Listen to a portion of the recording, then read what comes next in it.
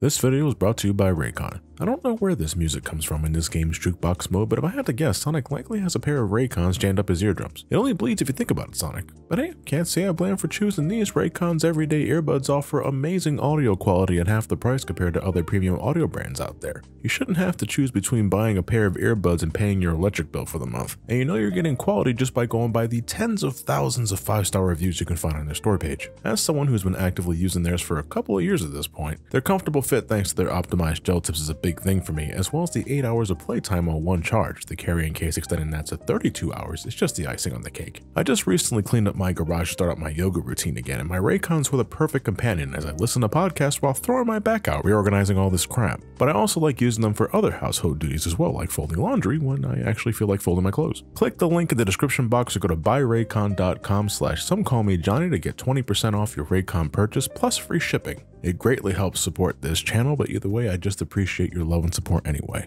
Now let's continue on with the show. Are you ready for round two?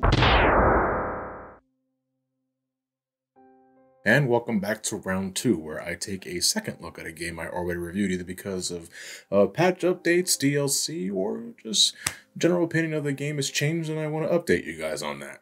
Today's subject should be no surprise, it was a shoo-in for a second look once it was confirmed it was getting DLC. Sonic Frontiers, at the time of this video, Sonic Team's latest 3D endeavor concerning Sonic the Hedgehog, the dude I probably have the most love-hate relationship in the history of ever. It's been a while since I played this game front to back, but in the original review, I thought Sonic Frontiers laid the foundation for a very promising future for the Blue Blur. The idea of taking Sonic to larger worlds but maintaining the high octane speed and dexterity that made it extremely fun just to run around in. However, the package collectively was uh, passable. The story I found pretty enjoyable with IDW writer Ian Flynn on board. The narrative was bursting to an almost absurd degree with callbacks and references to previous games that made it feel like the series actually had some bona fide continuity for once. Yeah, it's pandering as all hell. I even considered it potentially alienating the newcomers who have no fucking clue what in God's name these characters are even talking about. Or why Knuckles thinks of the Sonic 3 opening when he's reminiscing about his Master Emerald shrine back at home. Should have just showed a screenshot of Sonic Adventure 1 there. That said, I didn't really mind any of this, but that's only because I've been playing Sonic games for as long as I have, and what some might call on the nose, I felt was validation. It was great to see the story acknowledge past games and give us a sense that these characters we've been playing for so many years have indeed grown and matured from your basic platforming mascot. I also enjoyed the inclusion of Sage, Eggman's new digital daughter figure, and I'm seriously, seriously hoping they don't fuck this character up.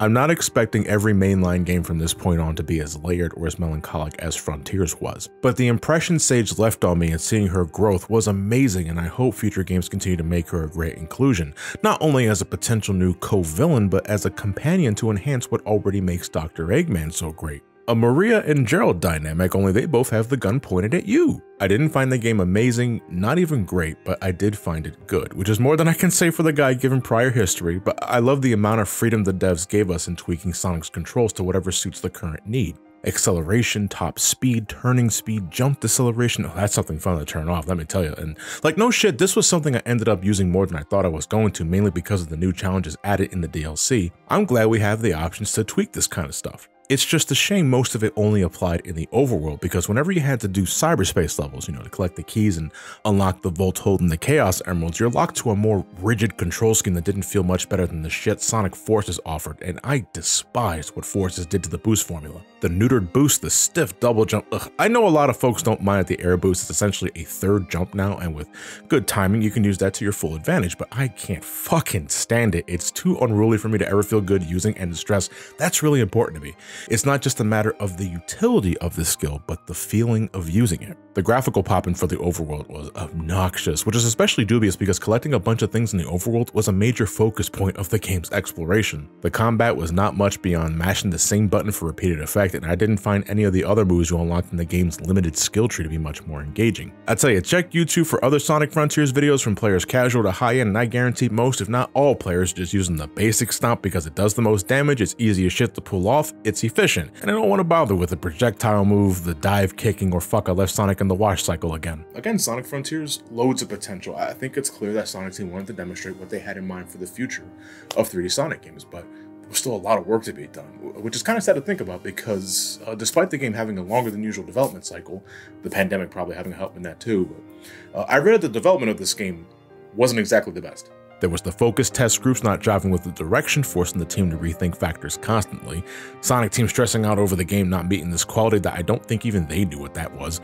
There's a part of me that feels Sonic team, or maybe Sega of Japan, is still too hell-bent on putting so much focus on the next Sonic game being unique or grandiose when I personally think they should just make the game fucking fun and consistent, and you, you certainly don't need Sonic to have a triple A budget or design mentality to make that possible. In fact, I think that'll only spell bad news for the devs given the unneeded pressure pressure they put on themselves trying to reach a quota or quality that I'm sure most Sonic fans wouldn't even give a shit about in the first place. Hell, even if the games were shitty, Sonic fans would start defending that shit in 10 years anyway. Obviously, I can only speak for myself, but if I learned something like Sonic Mania or Generations was only made with a shoestring budget and wasn't a 50 hour long adventure, I couldn't give any less of a shit than I do now, because those games knew exactly what they wanted to be, they're fun, and they're clearly not having to worry about catering to a design mentality that can make game development unfun and crazily unhealthy. I want a Sonic game to be good, but I also don't want the devs to kill themselves trying to reach this state of nirvana they think they need to achieve in order for a Sonic game to be considered fun or good. I'm hoping if the next game is going to be like Frontiers, I want them to learn and streamline the things most agreed was great, remove what didn't, and don't worry too much on adding new things that are just there because of this sense of obligation or having this dartboard mentality that I feel has plagued Sonic since the fucking mid 90s. But Maybe they're already learning and setting up the dominoes for a truly great follow-up, because to the collective shock of many, definitely me, uh, Sonic Team would then later announce, just a little after the game's release, that Frontiers is getting DLC, free DLC at that, uh, released in separate updates throughout the year. At first, I was just going to cover the additional updates for this video, but I figured eh, it's been a while since I played the game front to back, I'm already making you guys wait a bit between videos as I get the rest of the year settled, so for this round two, I'm just going to play the whole thing again, DLC included, and we'll get to the appropriate topics as I go along. As a heads up, I'm once again playing this on my PlayStation 5, though I did end up double dipping for the Steam version, but that was more so I could ready myself for the eventual hacks I will no doubt experience during the next Sonic hacking contest. I also want to take this time to thank my patron and Twitch subs for joining me for my uh, recording adventures for this round two video. It's one of the perks of my uh, of my Patreon or being a Twitch sub is that you can join me for recording sessions uh, when I announce them and uh, we, we hosted a lot of them for this one because Frontiers is a meaty game. But it was really fun. I think one of the highlights I had was actually achieving the platinum trophy like during the recording session, and uh, a few of you popped up like I was here, like I achieved the world record or some other shit like that. But so it was really funny, and uh, a lot of shit happened during those recording sessions. you might be asking us like, why the fuck are you even bothered doing this shit? Like, is it really worth it? I was like, no, it's not. I don't know what I'm flying towards, but I hope it's interesting. Oh my god, now I got a sweet rave in the background!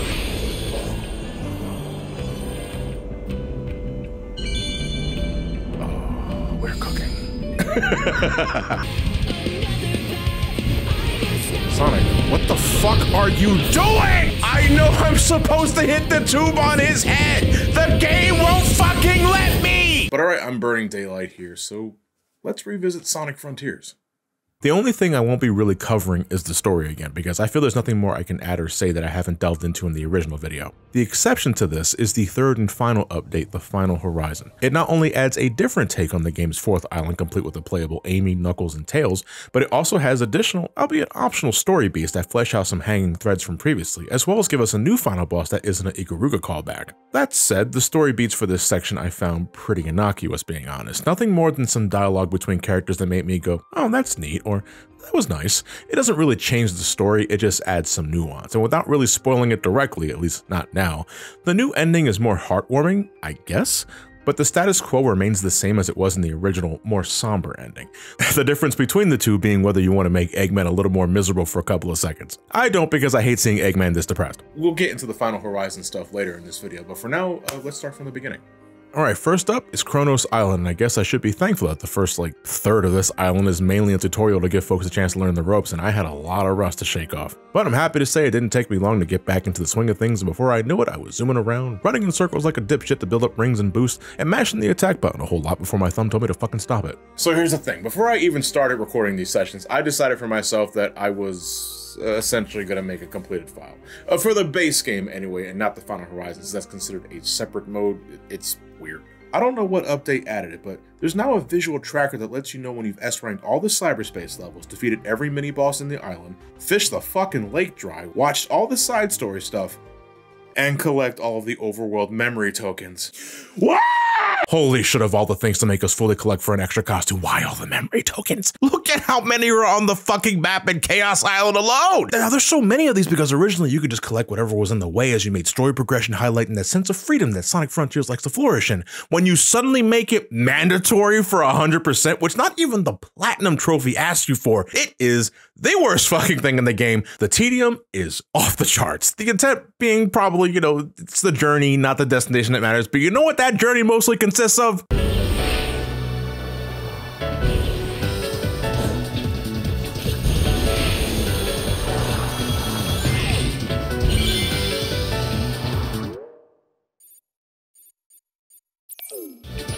That shit! Your reward for getting all the islands completed, again, not counting the new island for the final update, is this little Burger King crown. And folks, I shit you not, that was the only reason why I even considered doing this. I love it when games give you a crown for being a shithead. Like the crowns you got in Kingdom Hearts 2, all three of them, this hit the same feeling, so I made the commitment of getting this cheap, flimsy ass hat that doesn't really exist or mean anything. And let me tell you something, folks, this was an enormous waste of time. All right, well, knowing I was gonna do this, you know, I just didn't want to get everything I needed from Big's fishing minigame.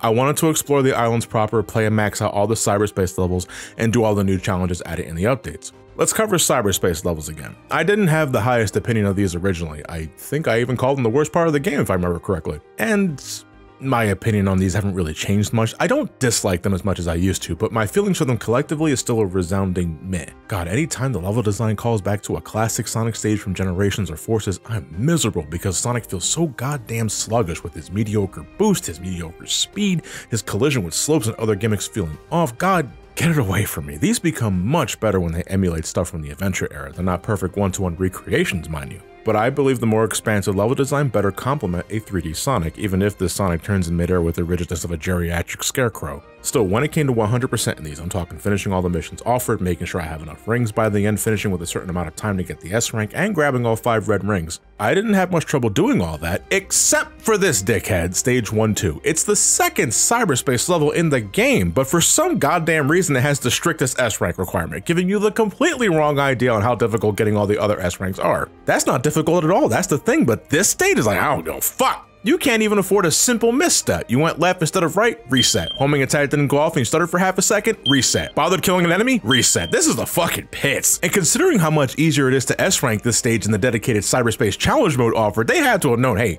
maybe we fucked this one up, but instead of fixing it for story mode, they left it as is. So legit, if you can S rank 1, 2 originally, that's it. You won the game. That's the end right there. There's nothing left more challenging than this. I'm actually a little confused about what the point of the cyberspace challenge is even supposed to be. The game already has an arcade mode that lets you revisit any cyberspace level that you've already completed without having to head into the island. Cyberspace challenge is basically the same thing, but it's more like the egg shuttle in Sonic Colors, where you have to play all the cyberspace levels in a given island back to back with no breaks, and you're ranked for it too. I understand that is a different sort of challenge than just picking whatever stage you want and going to town. I just don't find it that much of a substantial addition, so I didn't bother doing all these since I knew I was going to 100% them in the main story anyway. As soon as my first star shower happened, I did wince a little because I remember thinking this mechanic was more intrusive than beneficial. You rake in the coins needed for Big's fishing game like a crack fiend, no doubt, but I mean, you had all these streaks of light coming from every direction which I felt obstructed your current mission objective, especially if you like marking your next destination on the map a whole bunch. The slot reels that spun whenever you collected a star was placed right in the middle of the fucking screen, and I guess I didn't need to see where I was going. It all felt clumsy. But I'm happy to say that an update has made this less bothersome,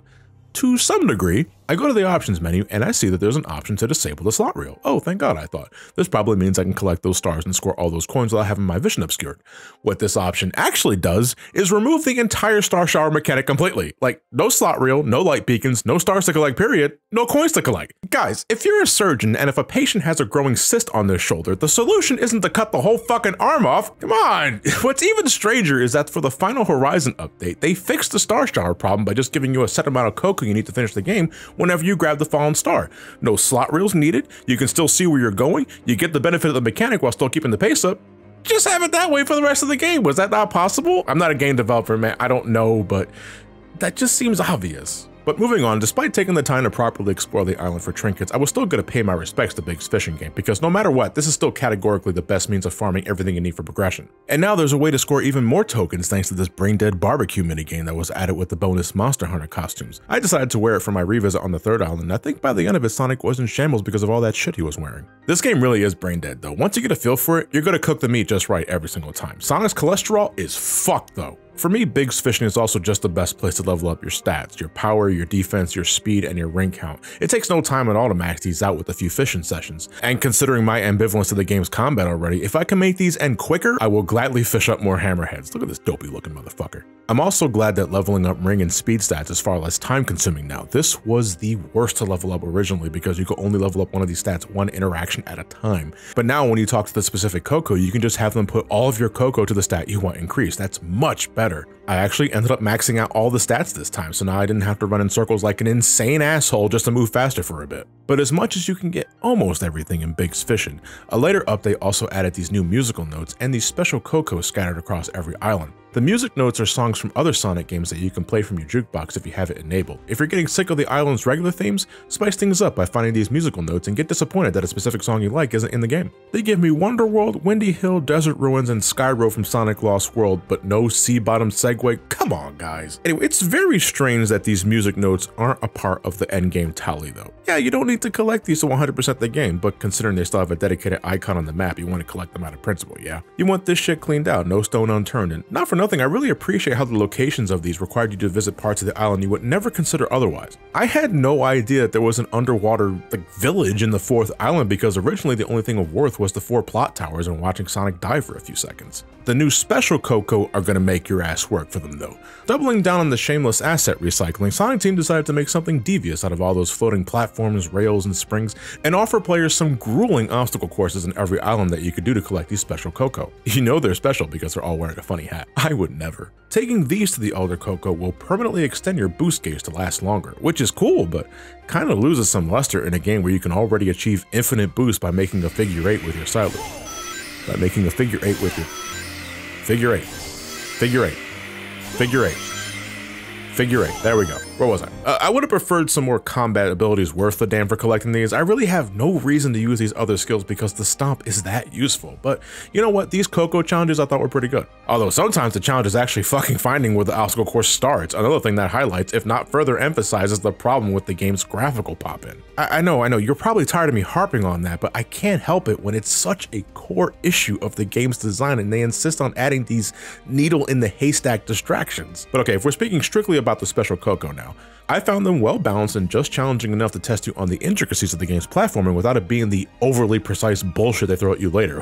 we will get there. The only one of these that I didn't like, that fucking tower on the first island. Dude, they did it again. They put one of the hardest special Koco challenges in the first island, giving players the completely wrong idea on how hard these actually are across the game. But this one sucks. Whenever you're required to make precise tiny ass movements with this Sonic, with his stiff jump, the small platforms, fuck Oh, it's so easy to overshoot your positioning and it happened to me a lot. Fuck you and fuck your hat. So to say again, it didn't take me long to get reacquainted with the game's mechanics. So for shits and giggles and because I wanted to do something for the sake of feeling something anything, I learned about the Hedgehog Space Program thanks to my friend Jason and I triggered the battle against Giganto early. But because I did this, there ended up being two Gigantos loaded during the initial climb. So I'm here getting ready to deck the shit out of this guy while his twin brother pretends he doesn't see anything because he knows if he looks at me weird, he's next. I know speedrunners often use this as a means of skipping the whole island, but because I knew I was going to do everything anyway, I did have to go back for the other story cutscenes and triggers, which required me to get a little creative with Sonic's positioning the trigger specific scenes and to despawn the second Giganto, though if you ask me, I think he just went fishing. This strangely had some ramifications during my visit to the fifth island, Ouranos. I read that this island was originally supposed to be part of the first island before it got split up before release,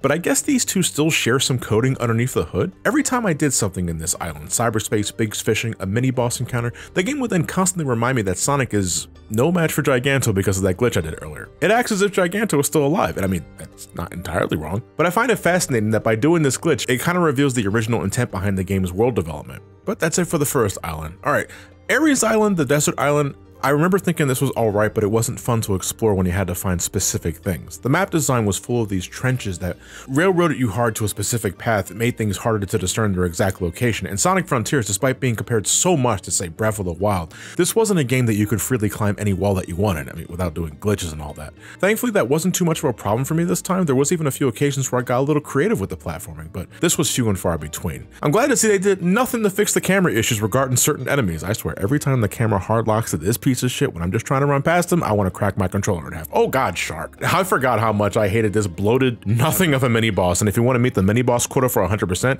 you gotta fight this thing twice. Ugh. It was here that I decided to give the new birthday mode a shot. This was added in the second update to commemorate Sonic's birthday, so what this means for us is birthday costumes for not only Sonic, but the Koco also get birthday hats, and even our friends get in on the celebration, but I bet they're thinking in these circumstances, this is the shittiest fucking birthday party they've ever been a part of, and I'm including all that shit that happened in Sonic Generations. It's not just costumes though, you also have this. This very loud birthday theme that you can have on the HUD, which is just ugh.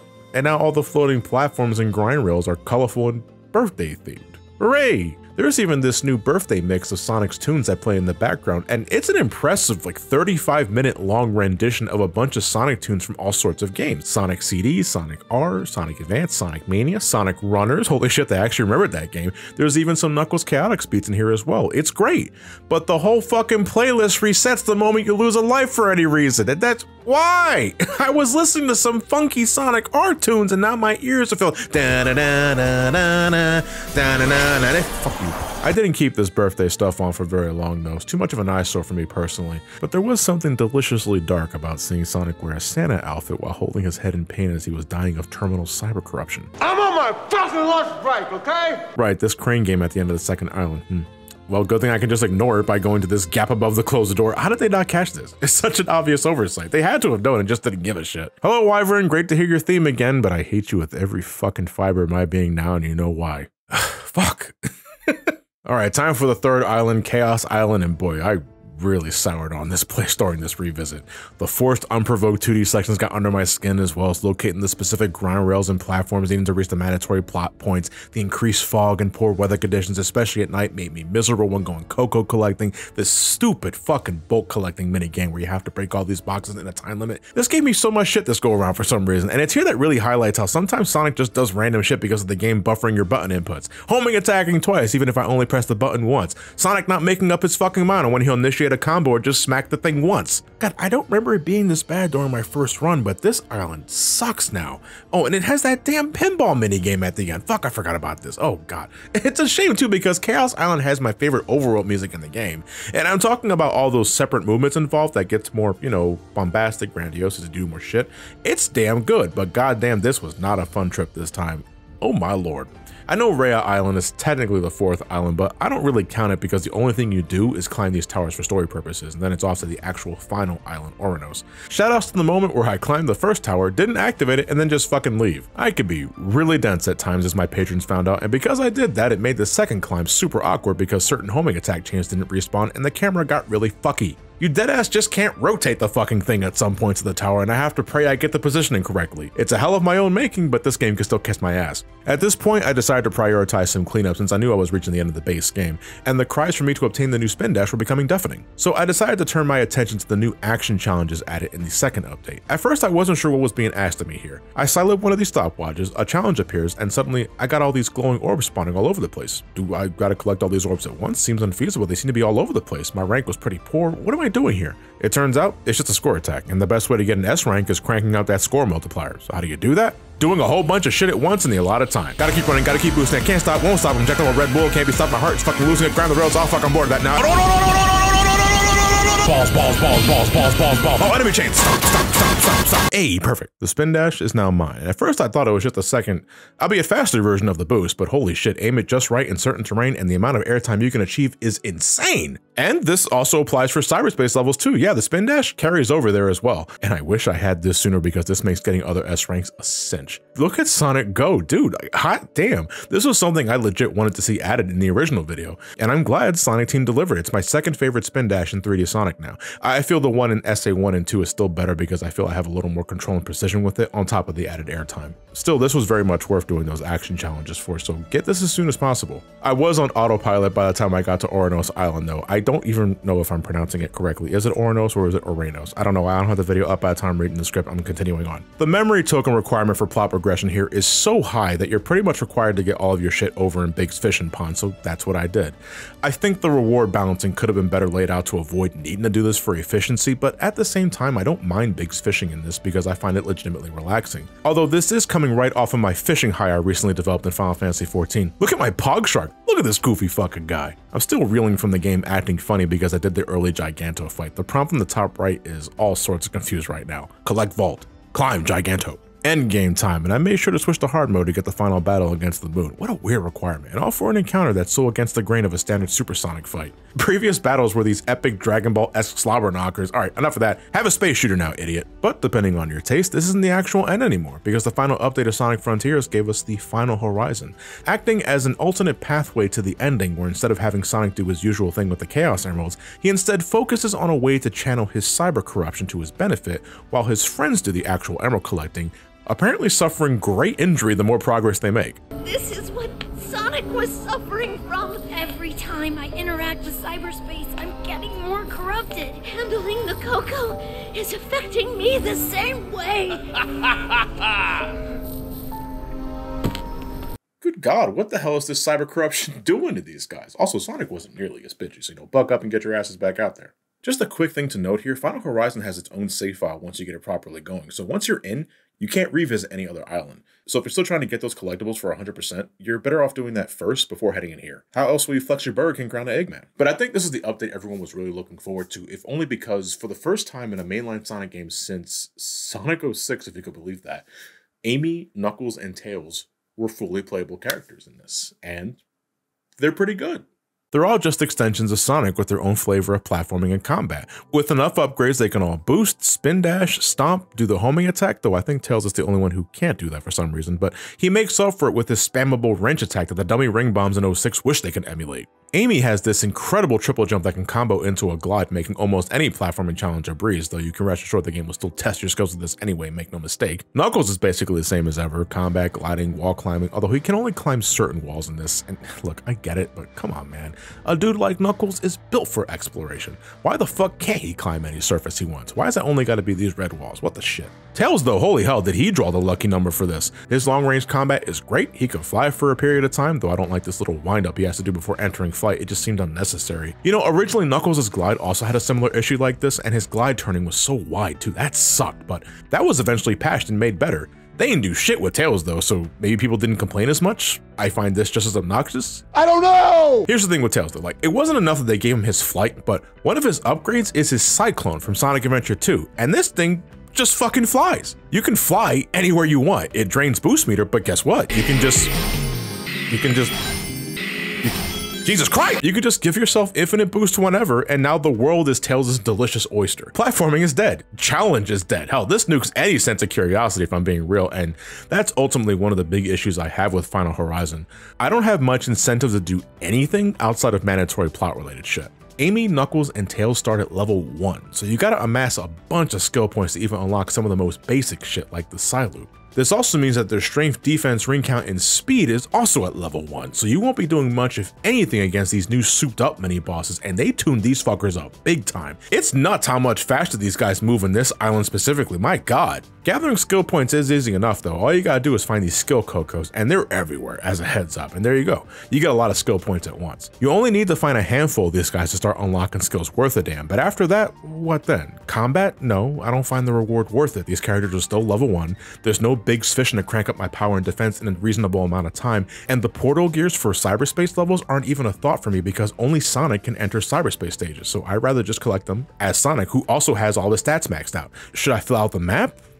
Maybe, but on top of the minigames being much tougher than before, not to mention you only cover a fraction of what you used to get previously, I just don't feel like I'm really making a dent on anything outside of what's required for me for story progression. So what ends up happening with me is that I level up Amy, Knuckles, and Tails until I get their broken ass flight abilities, and then I just make a beeline through all the required missions until I get control of Sonic again. I mean, for what it's worth, especially with Tails flying around the island with the Cyclone is exhilarating in its own way, it's just, I find it strange that they make this whole ass new island with new characters, but make it so easy to ignore. This new uh, alternative take on Ouranos Island ultimately feels like a testing bed for whatever they have in mind for a potential Sonic Frontier sequel, and that's exciting to think about. Man, if this is how they want to approach Sonic's friends in future games, that sounds very promising, but this does leave what we have here feeling half cooked. Like the base game, full of potential, it's just, it still has a lot of wrinkles to iron out. And then we get to Sonic's portion, and then the whole thing just shits the bed. So after you do your thing with Amy, Knuckles, and Tails, Sonic is placed back in the spotlight to initiate his trial to master his cyber corruption.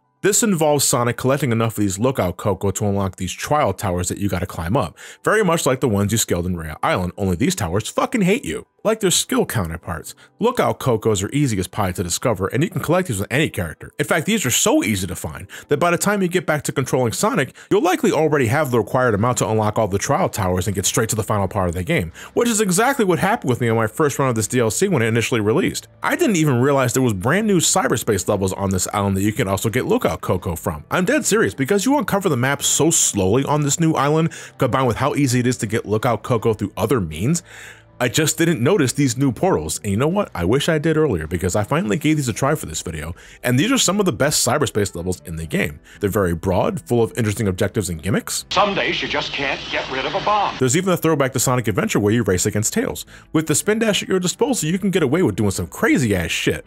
One of the hidden exits located in one of the stages pretty much requires that you do that. Holy fuck. I would have never known that was there without looking up a guide. What the fuck? But these were really fun. It's a shame that the game puts so little emphasis on them though.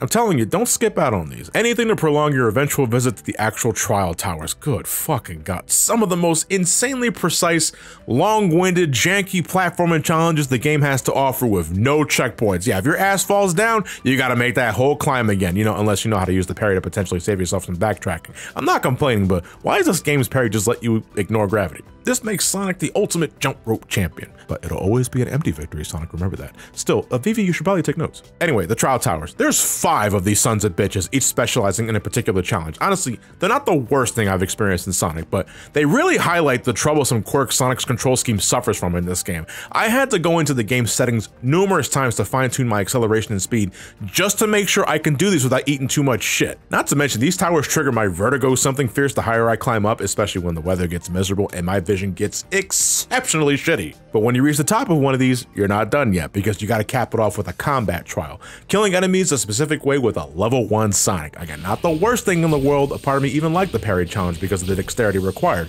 Constantly batting this thing away like an ex-girlfriend while you're trying to make out with your new girlfriend. Sonic's a piece of shit. It should also be said that these towers aren't as bad as they used to be because they got patched after enough people said Sonic Team, this fucking sucks. You can make them even easier by adjusting the difficulty and the options, which I do not blame you if you do because life's too fucking short. I thought I was being a Chad to my audience when I did all the towers on normal, but then I get to the end of the last one, I talk with the Master Koco to initiate the final trial, and the fucking game hangs on the loading screen and I had to reset the game, with my autosave being right before I made the first climb. Thanks for wasting my fucking time, Final Horizon. My patience is already paper thin by this point, so I switched to easy mode, and holy fuck, it really does just hold your hand, but I don't give a shit. I know I can do it. My Discord knows I can do it. The game said suck me anyway. That final trial though, oh my god. A boss rush against all three titans, but you're level 1, you can only use the perfect parry, which is insanely tricky to pull off with some of these attacks, and your rings don't reset between encounters. This also includes tackling their little preludes before you even get to the supersonic part, and you have to keep doing these every time you fail. Boy, nothing gets the blood pumping like running on a corkscrew fruit by the foot with nothing happening. Can't afford to get hit? Ah, that's no problem. We're gonna have the 100 foot giant on wheels do light speed donuts for no fucking reason. Fuck! These fights are just not fucking fun with these conditions. I understand the point is to show your mastery of the game's combat to Master King, who constantly hovers around you like a bad Photoshop effect, but all this trial does is highlight the jankiness of the fights themselves, Wyvern taking the spot as the most obnoxious one. You got the unskippable, really dull prelude in the beginning, and then the supersonic portion is insanely long-winded because of how automated most of the fight is. If you fuck up parrying any of his attacks, your reward is 10 seconds of nothing happening as your rings are still draining in the background. The only only saving grace to this shit is that I get to listen to every boss's amazing vocal trap, which I just can't get sick of. I don't think I put enough emphasis on it in the original video, but all the boss themes in Sonic Frontier shit, all the vocal tracks in general, are top caliber shit. So even if I'm constantly fumbling through this final trial, losing another opportunity because I couldn't parry something on time or because the game cucked me again with something out of my control, there's a part of me that's always going.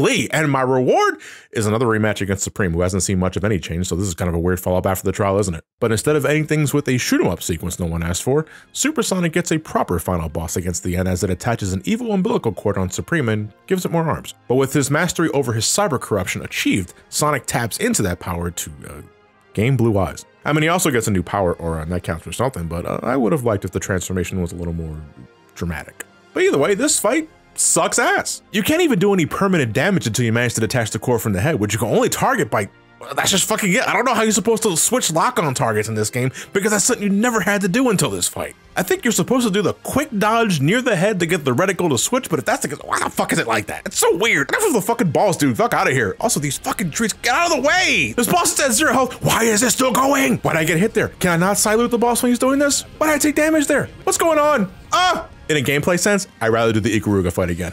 But Super Sonic gets so many cool moments during this. The transformation is kind of lame, but Sonic's mannerisms during this fight elicit the serious, no-nonsense attitude that just screams, I'm gonna fuck you up now, like Super Saiyan 2 Gohan, but Sonic's still mentally sane. Look at this cheeky dick. Look at that swagger. He just casually Masatsu's the guy like it's nothing. God, this gets my shonen side all hot and bothered. Kick his ass, Sonic. This fight sucks. But I won't lie, these little bits kind of make up for it. And then Eggman hijacks the fucking gun and uses Sonic as ammo. Sonic then becomes Dark Sonic from Sonic X, but only this one's actually cool, and the coup de grace is finally delivered to the end, which should be no surprise, Eggman has plenty of practice with blowing up moons. So the end is finished, and because Sage didn't have to sacrifice herself like originally, she gets to properly go home with her father. I'll admit, I found the original ending more impactful, but this also made me weep.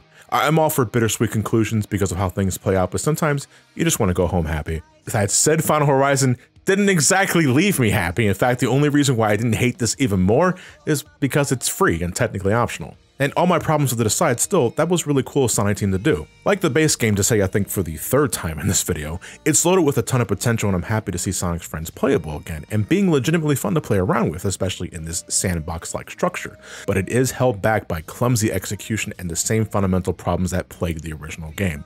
I guess you get what you paid for, but I feel some of these issues shouldn't have been issues in the first place. I think I may have mentioned this before, but just in case, but Sonic Team has stated that the success of Sonic Frontiers and its sales have given the team a larger budget for the next game. And, you know, not to undermine that, that is legitimately great news. But I genuinely hope that whatever the next mainline game ends up being, they take everyone's critiques to heart and refine it into a Sonic game that rocks everyone's socks off. I'm not talking just making a great Sonic game, I'm just, I, I want a game that everyone loves. And I hope with every goddamn fiber in my being that they just don't reinvent the wheel again for no fucking reason. No, keep trying with this formula. There's so much you can do with it. I mean, yeah, at some point I would love a dedicated remake of the adventure games. Hell, I would love a new game in the style of adventure. But Sonic Team has made it repeatedly known that they want to look forward, not backwards for 3D Sonic. And what else can I say but I hope they don't fuck it up. So the only thing I didn't really touch upon in this video was the new extreme difficulty, which I think you get by S ranking the battle rush or the battle challenge, whatever it is it's called in the options menu. And what that is, is a level one Sonic that you can't upgrade, and he dies in one hit. No thanks.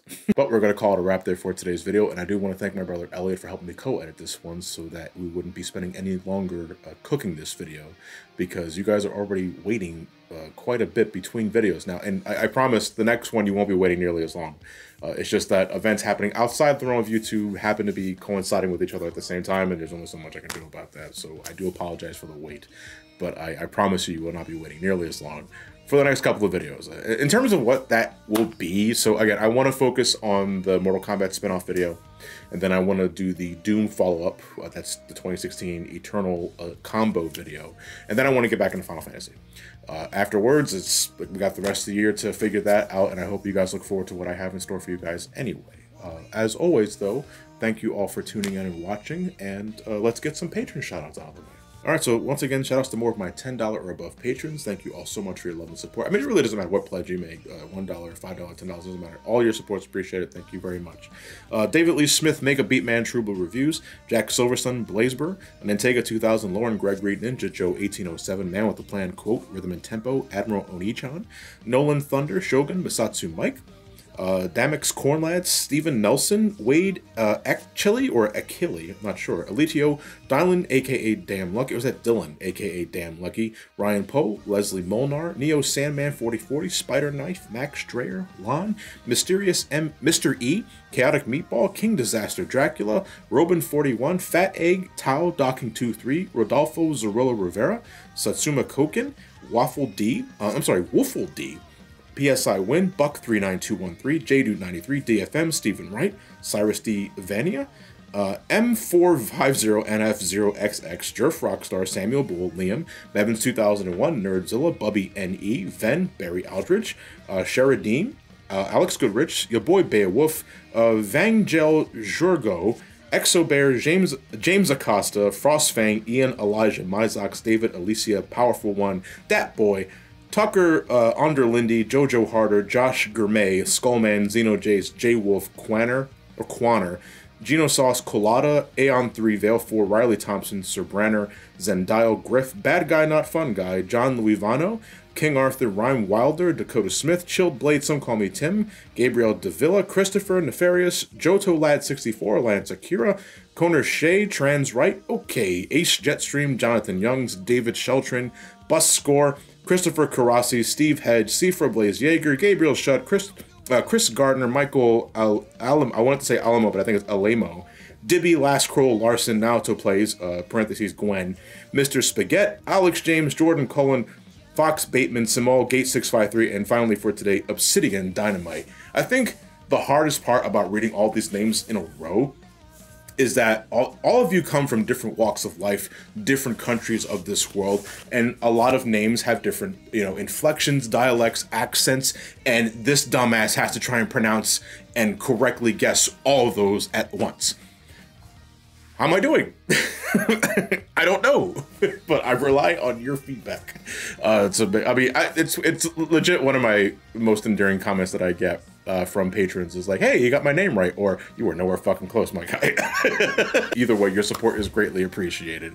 So I'll see you guys next time for the next video. Uh, as always, thank you all for watching. Stay safe out there. Have yourselves a fantastic night, and take care.